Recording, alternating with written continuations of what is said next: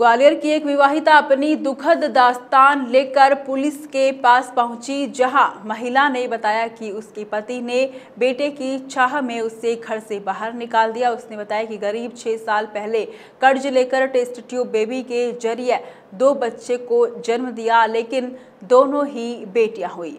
लिहाजा बेटे के ख्वाहिशबंद पति ने विवाहिता को घर से निकाल दिया। इस मामले की शिकायत महिला ने पुलिस को की। बता दें कि शिकायत पर पुलिस ने मामले की जाँच शुरू कर दी।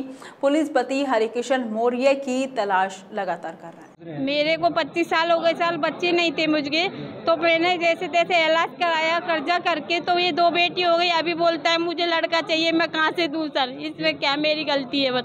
मुझे इंसाफ चाहिए बस। घर में नहीं, घर में उससे लेके नहीं जाता मुझे।